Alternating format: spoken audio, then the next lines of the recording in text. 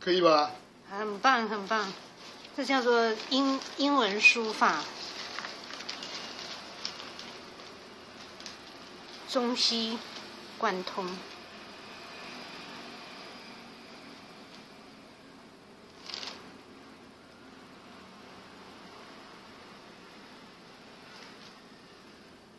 哦，我盖章了哦。哎，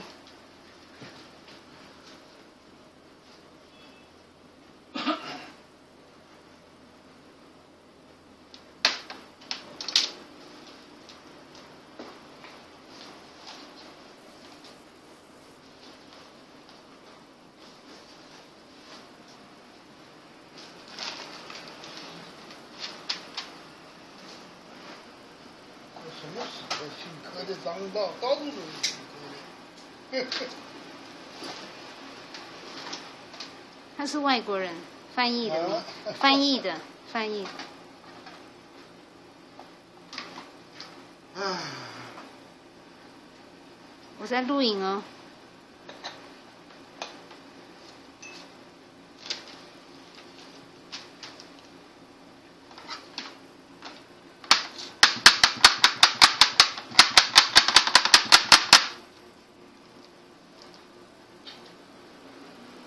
你有没有机会啊，跟这位柯先生当面解释啊啊？为什么原因啊？嗯，因为外国人不懂什么叫诗，什么叫词嘛。哦，会我会翻译翻译给他看所。以你要翻译，我必须要把这个讲清楚嗯了。中国的文字啊嗨，啊，呃，诗是占第一位的，诗占第一位。所以诗词歌赋晓得吧？嘿，你可见的这个地位是何等重要。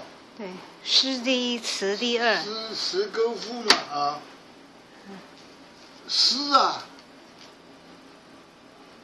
分的现在我们一般的诗分两种，一种是五言的，一种是七言的，对不对啊？对，那五言的，那么五言也好，七言也好，八句的呀叫列诗，建立的列列列诗那个列啊，啊，叫律诗。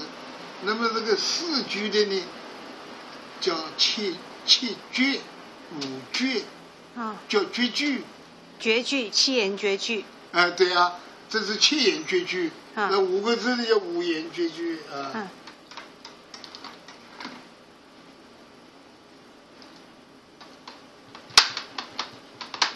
那这个是吃啊，词你晓得的嘛？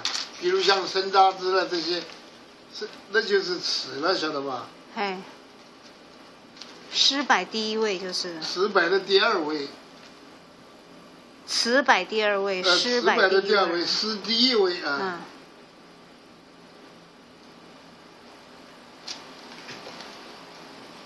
那代表词的那个应该是最清楚的就是生杂志啊，晓得吧？嗯，去年元一是花市登陆者，月上鱼上头，人月黄昏后，是不是啊？对。把它拿起来看一下，好不好？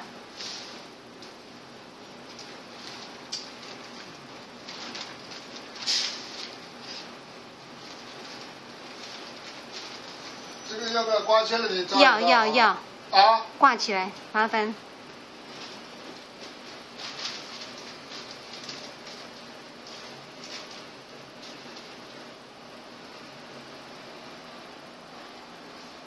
那个歌来讲啊，代表长歌啊，中国文字，代表的最有名的莫过于杨玉环的长七月恨去了长生殿，一望无人思于时。在天愿作比翼鸟，在地愿作连理枝。嗨，天长地久有时尽，此恨绵绵无去期。对，这是勾。还有一个，还有一个是君君不见黄河之水天上来，奔腾向海不复回。嗯，那都是勾啊，晓得吧？对对对，那赋代表赋的最有名的么？滕王阁赋，滕王阁赋。哎，落霞与孤鹜齐飞，秋水共长的意思。啊，对对啊，对，这是千古绝句。呃，